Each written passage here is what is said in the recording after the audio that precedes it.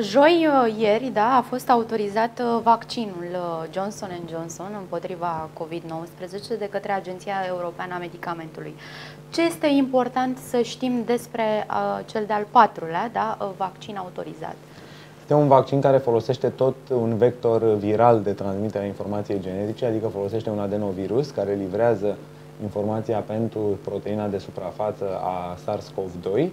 Este un vaccin care are o eficiență bună de peste 84% în studiile clinice și are două avantaje comparativ cu toate celelalte, avantaje care nu privesc neapărat pacientul, ci privesc, dacă vreți, campania de vaccinare. Este, se administrează într-o singură doză, acest lucru e important, poate sunt oameni care nu doresc uh, două administrări și mai are un avantaj care ține, dacă vreți, de uh, livrarea lui. Este un vaccin cu stabilitate bună, ceea ce permite să fie ținut la frigider pentru timp de câteva luni de zile, fără să necesite condiții speciale de depozitare.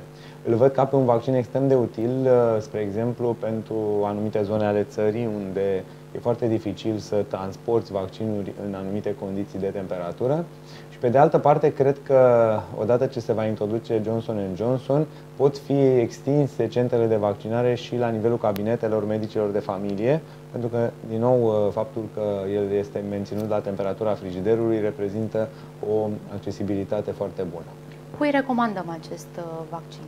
Tuturor persoanelor adulte peste 18 ani uh, se păstrează același, aceeași indicație pentru adulți. Vor apărea cel mai probabil în perioada următoare, discutăm de martie-aprilie, studii și pentru grupele pediatrice.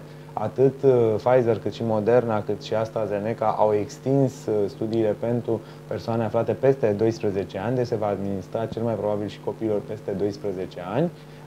Nu se realizează, dacă vreți, cu o foarte mare efervescență studii și pentru copii mai mici, știind faptul că aceștia nu dezvoltă forme severe de SARS-CoV-2 și atunci cel mai probabil lumea științifică încearcă să finalizeze studiile pentru cei care sunt într-adevăr vulnerabili în fața acestei îmbolnăviri.